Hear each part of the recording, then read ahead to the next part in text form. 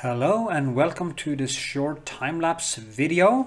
Uh, what you see here is me painting a girl, actually a dancer with a red rose on her chest.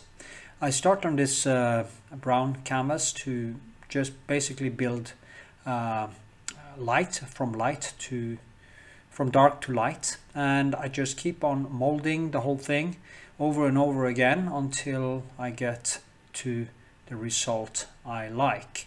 And it's just basically adding more and more detail over time.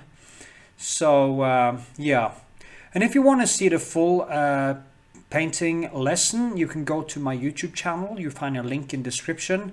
And uh, you also find a longer time-lapse video. So check out that and you find link in description as I say to the main video. So see you in the next video.